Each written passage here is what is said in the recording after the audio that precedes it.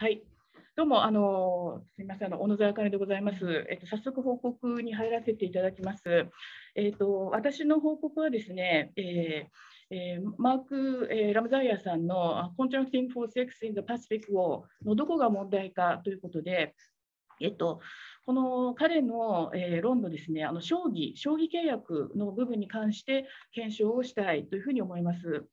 でえっとですねえっと、このラムザイヤ論文の主なあの主張点というのはあの次のようなことになると思うんですね。レジュメの始めにのところです。えー、まずですね、えっと、こう近代日本の交渉制度の下で、えー、女性たちが自らがあの契約の主体となって業者と交渉して、業者とのその思惑だとか利害が一致したので、まあ、数年間の年季契約を結んで多額の前借金を受け取って勝議、まあ、勝議というのはちなみにあの交渉制度の下で性を、えー、売ることを公認されている女性のことですけれども、えー、まあ、勝議となったということで、あたかもあの両者が対等な関係であるかのように書いているという特徴ですね。そして2番目に、えーとまあ、将棋はいつでも簡単に貸し出しを去ることができる。貸し出しというのは、まあ、交渉制度下の売春する店のこと、させる店のことですね。去ることができた。また簡単に廃業ができ、高収入であり、まあ、家業開始時に受け取った税借金もすぐに返済できた。でこうした将棋の在り方がそのまんまその、まあ、慰安婦もそうだったという、そういうあの論理構成になっていると言えると思います。で、えっとまあ、大きな3つの、大きく言うと3つ大きな問題点があるんじゃないかと思います。で1つは、まあ、その将棋の契約というのがその、まあ、事実上の人身売買であったということが、あのまあ、多くの先行研究、同時代の人々によって言われているわけですけれども、えそのことに関して、まあ、あのこれといった根拠なくその、えーと、女性と業者との、まあ、単なる思惑の一致で結ばれた契約であるというふうなあ言い方をしているということですね。で両者の間、あるいは将棋と親との間の、まあ、近代日本における強い権力関係というのが、まあ、無視されているということです。で2番目に、えーと、レジュメの丸2番のところですね。これまたその資料的根拠なく、あたかもですね、その日本の交渉制度と、それから慰安婦制度が同じであるかのようにまあ言われていています。であのララムザイヤー氏の説とは全く違った意味で、えっと、交渉制度と、まあ、慰安婦制度っていうのは、えー、関係が深いわけですが、しかしまあ同じではない。両方とも制度レ制度ではありましたが、先ほどの、まあ、吉見さんの話にもあったように、えーと、慰安婦制度は何よりも日本軍が主体となって、えーとまあ、行っているというところが、えー、大きく、まあ、特徴としてあるわけです。そして3番目、丸3、レジュメの、えーと、この投資番号で20ページ目の一番、えーと、下の丸3になるわけですけれども、今日はここを中心にあの話したいと思います。でこの論文は、この英語論文は、まあ、学術論文としての要件を満たしていないということですね。つまりあの自分の好きな説を展開するにあたり、自分の依拠する文献資料の中から自分の説に都合の良い部分だけを、まあ、恣意的に使用して、えー、不都合な部分については無視している、ないしは資料的根拠なく主張しているからです。でいかなるテーマであれ、えっと、どのようなテーマであれ、えー、こういうことは、まあ、学術論文としては、まあ、してはいけないことであるのではないかというふうに思います。したがって、その日本のまあ将棋とか日本軍慰安婦制度の実態をまあ論じているとは言えないということになると思います。で今日の私の報告はですね、えっと、最ごく最最初にですね、ごくまあ簡単に、えー、将棋というのは、まあ、どういう存在だったかということを、まあ、触れて、その後で、この Contracting for Sex in the Pacific War の中の、まあ、日本の将棋契約に関するラムザイヤさんの主張、えー、将棋は簡単に貸し出しを去ることができたとか、短期間で廃業できたとか、高収入なので3年もあれば借金を返済できた。といったような主張を、えっと、このラムザイヤー氏自身が、根拠として挙げている出典のその文献、にあたって検証するということです。そして、その,、まあ、あの結果、まあ、根拠がないということをあの明らかにできるのではないかと思います。では、えっと、ごく簡単にですね、えっと、近代日本の将棋とはあの、まあ、どういう存在だったと、まあ、先行研究では言われているかということです。まあ、18歳以上の女性がなること、将棋になることを、まあ、あの許可されました、あのまあ、審査の上でですね。で貸し座敷というのが、まあ、交渉制度下での店で、えっとまあ、議労とも呼ばれるので、えっと、労主というふうに主人は呼ばれましたが、その契約する際に、えっとまあ、本人とともに両親ですね、でまあ、あるいは近しい親権者が、まあ、連帯保証人となって、えー、契約を結ぶ。で事実上の、まあ、契約の主体はこの、えっとまあ、親たちであるということですね。で、年金を定める。で契約時にですね、えっと、前借金という、まあ、多額のお金を受け取ってえ、それを返済するまで、あるいは年金期間が終わるまで事実上廃業の自由がないということ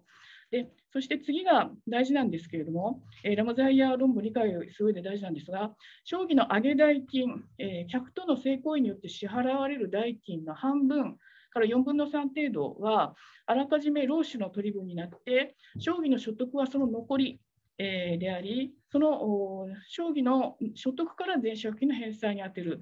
なので、借金返済が大変に困難であり、えーまあ、事実上その、非常に難しくて、えー、長くすると。で、えっと、その結果ですね、えー、レジュメの次のページ行きまして、22ページ目ですね、投資番号。えー、その結果、まあ、あのこれはやはり人身売買であり、あのまあ、その自分がそのお金を手にすることもできないし、そのえー、なかなか廃業できないまま何年もその、えーと、ということで、えー、外出の自由、その他もなく、ということでですね、えっと、国際条約、えー、そこに書きましたような国際条約に、まあ、違反しているのではないかと見られまして、なおかつ、その戦前の、まあ、弁護士の布施達治という人は、えー、国内法にもですね、えっと、そこに書いたようなものに違反してるんじゃないかと言っていた。で、えっとまあ、人身売買であり、奴隷制度だということがあの多くの人々によって当時指摘されていて、えー、かあのそれは特別な人たちだけじゃなく、えっと、運動をやってる人だけだだけではなく、官僚などもそういう認識を持っており、内務省、刑法局もですね、で戦後すぐ、えっと、法社会学者の川島武雄氏は、あまあ、これは買った人間と買われた人間、えー、奴隷と奴隷所有者との関係であった。というふうに言っています。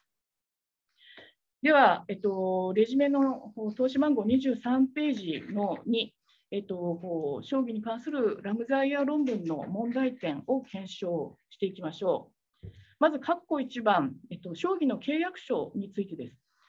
えー、ラムザイア氏はあの将棋契約書のポイントというのをその論文の2ページ目で示しています。でしかし、契約書そのものはあの1つも示していないです。で、その特徴を A から D まで挙げています。まあ、一応、ここのところはあの読もうかと思いますが、えー、貸し座敷は女性、あるいはその親に一定額の全借金を支払った。そして女性は借金を返済するまで、えー、あるいは決められた契約期間が終了するまで、勝負として働くことに同意した。で平均的な全借金額は、まあ、そこに書いたような額で、で貸し座敷は利子を請求しなかった。で C、で最も一般的な契約期間は6年間だった。で D、典型的な契約のもとでは、将棋のもたらした利益の3分の2から4分の3はあらかじめ貸し出し側の取り分となった。で残りの60%が借金返済に充てられて、その残りが商議の取り分となったということですね。でまあ、これだけでもですねあの将棋にとって結構あの大変なあの契約なんじゃないかということが伺われはするんですが、まあ、ラムザイアさんはそうは思わないようであります。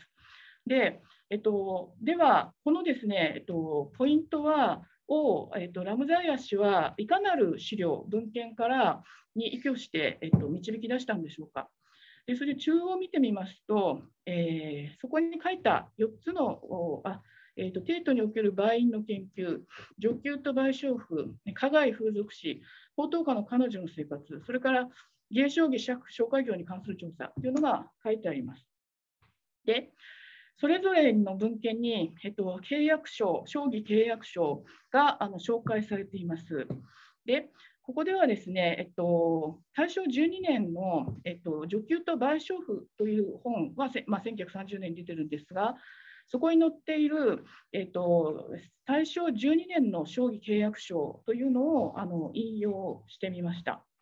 えレジュメの、まあ、23ページ目から24ページ目にかけて引用してあります。で、それを見てみますとですね、えー、まあ、ラムザイア氏が言うようなポイント、えー、も書いてありますが、だけではなく、例えば河川部を見ていただければと思うんですけれども、えっと、例えば第7条、えー、自分の所有に属する一切の動産は、これを借用金の担保に提供し、自分が自由に処置することはできないだとか、自分っていうのはあの将棋の方ですね。で、秘伝っていうのはあの貸し出し主、老主の方ですね。で、貴殿において、その貸し出し企業を他人に譲渡したときは、えっと、自分は、あのその、えっと、えー、ですね、老主の指揮に従って文句は言いません。とか、あと、お本人が逃亡、商議が逃亡したとき、連帯保証人は直ちに捜索して、えー、連れ戻す。えー、で、とか、あとはあのいろいろその、そうですね、といったようなことがあ書かれていて、えー、つまり河川部の条文はほとんどすべて、えー、将棋の自由を奪う内容であるわけです。なおかつ、将棋が逃亡したり、なんか義務を果たさないと、連帯保証人、両親ですね、つまりの責任になるということも明らかであります。で、ラムザイアさんが依拠している、えっと、他の文献に書かれている商規契約書、載っている商規契約書もほぼまあ大体同様の条文があるわけです。にもかかわらず、えっと、ラムザイアさんは、こうした将棋の自由を奪う内容の条文については、論文の中ではまあ全く言及していません。なぜなんでしょうか。えー、将棋の自由を奪う内容の条文が、えー、ラムザイアさんの説にとって、えー、不都合だから無視したんじゃないでしょうか。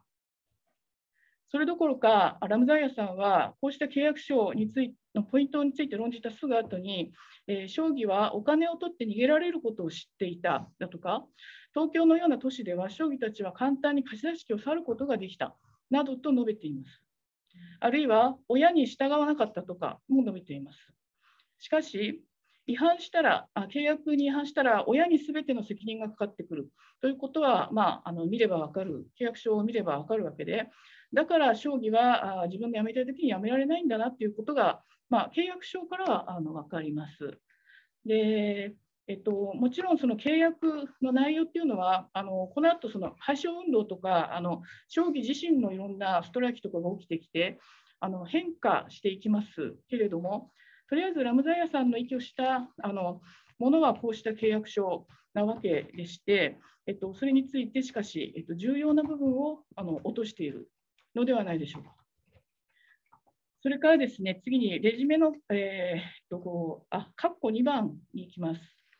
将棋の年齢と廃業の関係というところで、ラムザイアさんは、えっと、もし老主が、えー、将棋を縛り付けていたならば、拘束していたなら、将棋の人数は少なくとも30歳まではコンスタントにあるはずであるというふうに仮定しています。まあ、この過程自体もちょっとあのいかがなものかと思ったりはするんですけども、そして、えーと、レジュメの次のページ、26ページ目ですね、になるんですが、以下のようにその、まあ、書いています。in 1925っていうところからですね。でえっと、21歳が737人とか、こうそういうあの数字なんだということを言っていて、将棋の人数ですね。で、これの出典は、あのテートにおける売員の研究の59ページだというふうに書いてあります。なのでですね、その文献に当たってみると、えーえー、っとですね、実はあのこの28歳以上の将棋数、えー、つまり28歳未満が254人、30歳未満が306人、35歳未満が185人といったように、えー、書いてあって、えっと、ラムザイアさんの英文の方ではあの27歳で年齢が終わっていて、なんかあたかも28歳以上がいないように見えるのですが、実は彼が数字を取ってきたと言っている文献に戻って見てみると、あのちゃんとその40歳以上までその将棋の人数というのはあるということが分かるんですね。でえっと、なおかつ、もう一つあの重要な点は、えっと、ラムザイアさんの英文にはあの21歳未満の人数が出てこないですね。しかし、えっと、21歳未満は1140人もいるではないかで、えっと、なぜこの数字を上げないのだろうかというで20歳以下の女性が、まあ、あの20歳以下の女性が最も多いという事実は、彼女たちが自ら契約の主体だったということではない、なさそうだということが、えー、なってしまうということが、あのやはり自分の説にとって都合が悪かったからなんでしょうかというふうにあの、まあ、思わざるを得ないわけです。そして、括弧2番いきます。ラムザイヤさんは、えーと、将棋は短期間でやめられたはずだという根拠として、将棋稼業年数というのを、まあえっと、そこに書かれた2つの文献から述べています。で、えっと、意外と短いというふうに言ってるんですね。で、でこの2つの文献を見てみるとですね、この上級と賠償符の281ページの記述を見てみると、次のようになります。で、えっと、ここで人数はあがあの分かると同時に、えっと、正し書き、ただし同一議論に努めるものであると書いてあるのが明らかです。レジュメ次のページいきまして、つまりここで重要なことは、あのこの正し書きが重要だと思うんですけど、この正し書きについてのムザイヤさんはあの全く触れていません。でつまり、ここで示されている数字は将棋がな、将棋が何年間将棋を続けたかという年数ではなく、同じ店に何年間いたかという、そういう数字である、えー、ということなんですね。というふうに、この上級と賠償符の著者は説明をしています、本の中でですね。つまり、別の店に住み替えた後の将棋として働いた年数は数えられていない、えー、ということなんですね。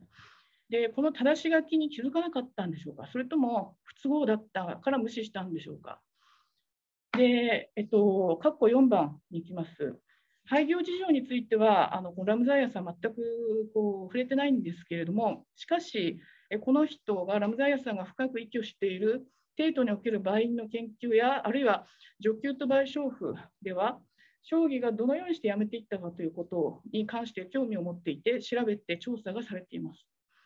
で特にこの女給と賠償符の方には、えっと、こういう1925年と26年の調査結果も載っています。でこれを見るとですね、えっと、レジュメのこの,、えー、この27ページ一番下のところですけれども、年金を終わりたるため、残借をもらい受けて、えつまり契約期間内に借金を返済できなかったけど、まあ、恩恵的に解放された人たちというのが一番人数が多いということが分かるというふうに著者も述べています。で次いで多いのが谷転換というやつで、レジュメ次のページに行きますけれども、この谷転換というのは、えー、とどういうことかというと、あのえっと、他の店に移ったとあの、その店を辞めて違う店に移動したということであると。で、えっと、あのラムザイヤさん自身が息をしている文献、芸書義借紹介業に関する調査によれば、他に転換というのは、自己都合で転換する場合は、利子を徴収免除を取り消される。つまり、えっと、最初に将棋になった時からに遡って、それ以来の利子を請求される。また大阪の場合は、えっと、あれですね、えっと、違約金も支払わされる。したがって、将棋や、まあ、芸儀も書いたんですけど、将棋は住み替えをすると、その都度負債がかさんで、まあ、廃業から遠ざかってしまうというふうに書いてあります。えー、ラムザイヤさんはあ自分がこの文献にあの出典に挙げているんだけども、そこのところになぜ触れないんでしょうか？読み飛ばしたのか、えー、自分の説に都合が悪いんでしょうか？そして、括弧の5番に行きたいと思います。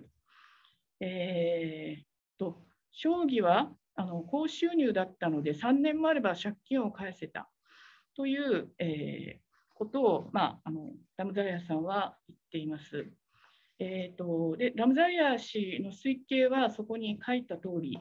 なんですけれども、レジュメのこの投資番号28ページ目のあの括弧5のとこですね。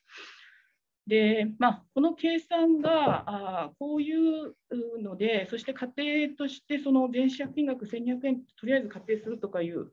ことでいいのかどうかという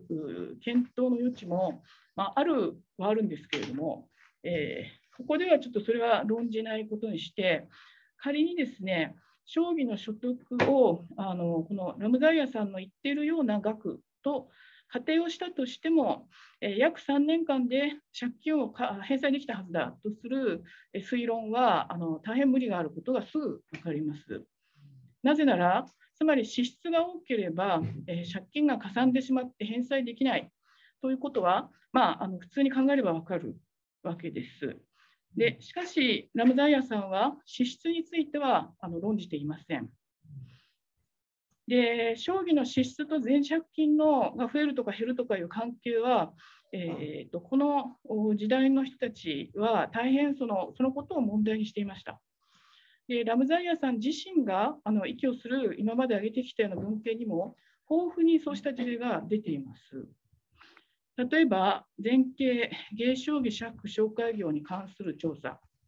におけるいくつもの事例、それからえっと、さっきから、えっと、出している序給と賠償法に掲載されたいくつもの事例、えー、そのうちの一つをちょっとここでは、えーえっとまあ、あの要約して出してみました。えーと、こういう感じです。えーと、大正6年6月に、えー、全社付近650円、えーと、これに加えて、まあ、超過資金というのは、えっと、全借金とは別途に貸し付けられるお金で、まあ、その衣類だとか布団だとか、あと紹介してくれた芸商儀商護開業の人たちへ払う手数料とか、そういうのも、まあ、あの払わなきゃいけないわけですね。これも借金になっていくわけです。で、まあ、合計789円、えー、93銭の、えー、全借金で、え吉原の貸し出し機で、えーと、仕事を始めたある将棋がちょっと例に上がっています。でここでは、まあ、あの玉代、玉1個1円って、まあ、あの上げ代金のことですね。で、そのうち、えっとまあ、73でその同種の取り分になり、将棋の所得はだから30銭であり、で一応、その5か月間の間に、えっとまあ、玉数708個、だから、え、っとですね、あのまあえっとまあ、やっぱりそうですね、708人とまだいかなくても、まあ、あの600何十人かの相手をしたんじゃないかと思いますが、で、220円40銭を取得したと。えー、でこのうちその141円60銭を全借金の返済に入金したんで、これはかなり順調な方であると。でね、だけれども、それは続かなかった。というふうにこの序給と賠償付は説明をしています。なぜ続かなかったかというと、移り替えの重い負担がのしかかったと書いてあり、それは何なのかというと、夏の夏の初めに将棋になったので、夏用の衣装っていうのは支度してたけど、冬用がないってことで、10月に改めてその234円を借りた。でそのため、借金が883円に上ってしまって、身売りの時より93円も全借金が多くなってしまったといったような、えー、結果を述べています。で、えーと、このやはりラムザイヤさんが深く依拠しているテートにおける売員の研究でも、えーと、同じようなことが言われていて、えっと、やっぱりそのなんていうんですかね3つぐらいそのあ4つぐらいか、えーと、借金がなかなかかさんでいく理由っていうのが挙げられていてで特に丸2の衣装代は大きいというふうに言っています。しかも注目すべきことは、えー、多くは貸し出し企業者の手を通じて購入する場合が多い。でこの際、ややもすれば、あ利子あ手数料ですね、利子や手数料を取るとか、あるいは将棋の希望しない衣装を修理するとかの平風を生ずるからだと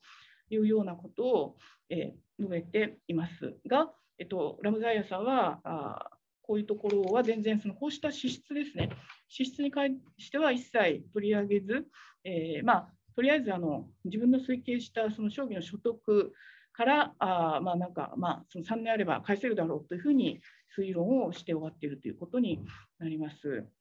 で、えっと、この6番のところはちょっと、えー、軽くだけ、えー、言って飛ばしますけれども、えー、まあ、最近ですね、一次資料を使用したその、え遊郭研究というのが進展していて、このあたりに関してはですね、えーとその実際に遊郭がつけてた帳簿でもって、えっと、全借金額がどういうふうに減ってるか、増えてるかとか、そういうことが明らかになってきています。で、えっと、でちょっと飛ばしましてですね、最後終わりに、えあで画像はすみませんあの、これはですね、まあ、一次資料の研究が進んでいるってことを、あのまあ一言ちょっと、えー、あの皆さんにもご紹介したいと思ってあの載せたんですが、時間があればと思って、まあ、この有客名簿というのをちょっと、じゃあこれだけご説明しますと、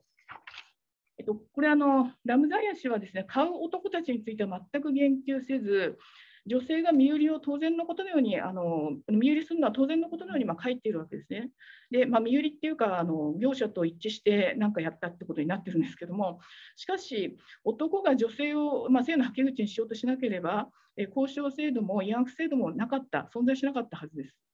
で戦前交渉制度はあの誘客の名前、住所、年齢、職業、相手の将棋名などを記録した誘客名簿っていうのをこうまあつけてまして、でえー、このこういった資料がですねあの続々とその発見各地で発見されてて、でまあ、あのどういう男たちがどういうふうにこう買っていたかということがまあ明らかになってきているという、そのうちの、まあ、一つのですね、えっと、もので、まあ、ある遊客の、まあ、誘客名簿ですね。で、えっと、画像の、まあ、2枚目を見ますと、えっと、右側があの、まあ、なんか住所、えっと、とか、そういうのが各欄で、その下が氏名、年齢とかで、であと風貌ですね、どんな、えー、背丈とかそういうのとか、それからあと、えー、いくら払ったかで、相手をした将棋が誰だったかって、そういうことが、まあ、記されているということです。はいで、えっと、最後、終わりにお話しして終わりにしたいというふうに思います。えっと、終わりにのまず、丸1です。えっと、レジュメのね、最後の方ですね。で、えー、この論文は今までお話ししてきたように、えっと、この将棋の将棋契約のところを見ただけでも、えー、まあ、学術論文の要件を満たしていないというふうにあの思いました。つまり、この論文の根幹に関わる将棋のが将棋契約書ですね。で、これがあの慰安婦もそうだったっていうふうにま言ってるわけですね。あの契約書はあのもちろんあの全然出してないわけですけども。だけど、その将棋契約書の内容について、実際の契約書の中身の将棋の自由を奪う内容だとか、そういうのを無視して、え、まあ、立論しているからです。えー、実際の契約書、ご本人自身があ読んでいる本の中に出ている契約書というものにの具体的な中身に触れずに勝手にあの立論しているということですね。それから2番目に、それ以外でも数字とか見てきたように正し書きだとかそういったものを、まあ、無視したり、まあ、適当に消去したりしている。それからあとはあの誰が考えてもおかしいと気づくずさんな推論ですね、あの支出とか考えてないとか、えー、そういうのがあのやはりあの明らかに目立つ。でやはりこの将棋契約っていうのがあの発展してって、そうやって慰安婦になっていくって、この人の一応、議論の出発点があのこういう形で崩れるとなると、えー、やはり非常にその問題があまりに多いんじゃないか。で、えーえっと、要するにテーマにかかわらず、このような立論はやはり学術論文として、えー、ふさわしくないんじゃないかという要件を満たしてないんじゃないかというふうに思いました。そして最後、丸2番ですね、終わりの。でラムザイヤー氏の説とは全く別の意味で、交渉制度と日本日本語慰安婦制度っていうのは関係していると思います。で日頃から存在していた人身売買業者が戦時になると、日本軍の指示で女性を手広く、まあ、徴収した事実というのは知られています。で慰安婦にさせられたあの日本の将棋や芸妓や爵たちもえー、いて、えーとまあ、借金が返せないから、まあ、そっちの方になんとか活路を見出さざるを得ない状況があった。で交渉とは関係がなかった女性たちもあの業者の詐欺や人身売買で慰安婦に徴収されるケースがありました。つまり慰安婦問題とその交渉制度の関係を探っていくと近代日本がいかにひどい女性差別を抱えた社会だったのかということが浮かび上がってくると思います。だからあの慰安婦は交渉だった、だから被害者ではないという論法はあ通用しないし、こうした論法をする人たちは、やはりあの低い人権意識を持っているというふうに言わざるを得ないんじゃないかというふうに思います。えっと、私はのお話は以上です。ありがとうございました。はい、ありがとうございました。大変詳細な批判で、ポイントがよく分かったと思います。